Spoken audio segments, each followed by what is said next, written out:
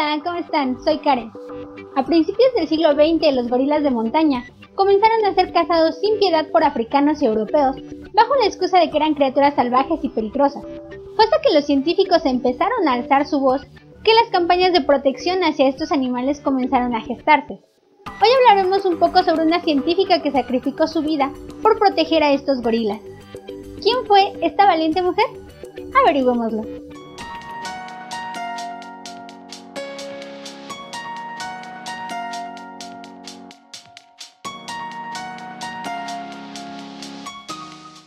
El 16 de enero de 1932 nació en San Francisco, Estados Unidos, la zoóloga Diane Fossey. Cuando era niña sus padres se divorciaron y a pesar del divorcio, ella fue una excelente estudiante que demostró un gran interés hacia los animales. Diane se matriculó en una carrera de negocios y durante un receso de verano fue a trabajar a una granja en Montana, en donde desarrolló un estrecho vínculo con los animales.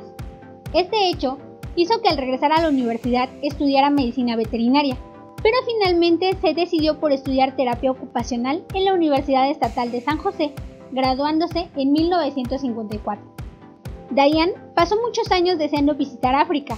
Su primer viaje a este continente lo realizó en 1963, en donde conoció al antropólogo Louis Leakey, quien se encontraba trabajando en un yacimiento de fósiles. Este encuentro hizo que Diane reafirmara su deseo de trabajar en África.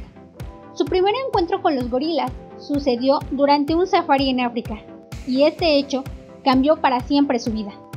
Una vez de regreso en Estados Unidos y tras una serie de conversaciones con el científico Louis Leakey, logró volver a África en 1966 para estudiar a los gorilas de montaña. En 1967 estableció el Centro de Investigación Karisoke en Ruanda, lugar donde estudió a los gorilas durante 18 años. La paciencia y meticulosa observación de Diane le permitieron comprender e incluso imitar el comportamiento de los gorilas. La especie que Diane Fossey estudió fue el gorila Beringi Beringi. El gorila de montaña vive en las regiones montañosas de África Central, en Ruanda, Uganda y la República Democrática del Congo. Su pelaje es más largo y oscuro, mide entre 1.2 y 1.8 metros y su peso oscila entre los 132 y los 220 kilogramos, lo que lo convierte en el primate más grande del mundo. Los gorilas de montaña se alimentan de hojas, brotes, tallos, raíces, flores, frutas y de insectos como caracoles y hormigas. Estos animales viven en grupos llamados bandas.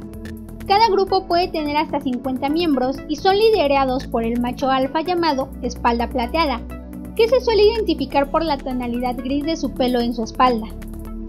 La gestación de los gorilas es de 9 meses, igual que los humanos, y su esperanza de vida es de 35 años en libertad y de más de 50 años en zoológicos. Diane Fossey estudió cuatro familias con un total de 51 gorilas. Todas sus observaciones le permitieron recopilar una gran cantidad de información, misma que fue publicada en 1983 en su libro Gorilas bajo la nieve. Este libro fue llevado a la pantalla grande con el mismo nombre. Gracias a sus investigaciones, Diane logró derribar el gran mito de que los gorilas eran violentos, ya que en realidad las familias de gorilas son muy unidas y solo son una amenaza cuando los miembros más pequeños del grupo se encuentran en peligro.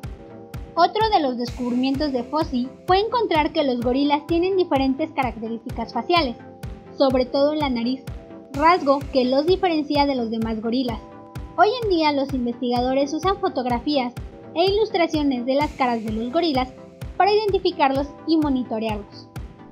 Durante su estancia en África, Diane peleó contra los cazadores furtivos de gorilas. Ella y su equipo de investigación patrullaban día a día el lugar, recogiendo las trampas que los cazadores dejaban para los gorilas. El 31 de diciembre de 1977, un gorila llamado Digit fue asesinado por los cazadores.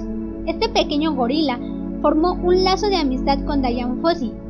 Su asesinato hizo que Diane comenzara una campaña global para salvar a los gorilas. El Fondo Diane Fossey para Gorilas sigue en su labor de conservación y protección hacia estos animales. Lamentablemente, Diane Fossey fue encontrada asesinada el 27 de diciembre de 1985 en el dormitorio de su cabaña. Este crimen nunca se resolvió, pero se sospechó que los grupos de cazadores furtivos fueron los autores de su muerte. Diane Fossey fue enterrada en un cementerio local junto a las tumbas de gorilas que ella misma había ayudado a construir. Para 1986, un año después de la muerte de Fossey, quedaban 280 gorilas de montaña. Actualmente hay 880 gorilas que están aumentando su población. Sin embargo, la Unión Internacional para la Conservación de la Naturaleza aún los tiene en su lista roja de especies amenazadas. La historia de Diane Fossey es un ejemplo de dedicación, de amor y de coraje, ya que no solo dedicó su vida a estos primates, sino que logró traer la atención del mundo a la terrible situación de estos animales.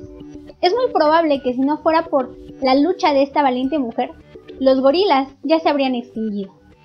Si les ha gustado el video no olviden dar like, suscríbanse para más videos y sobre todo ayúdenme compartiendo en redes sociales. Hagamos de este un mundo con más ciencia. Hasta la próxima.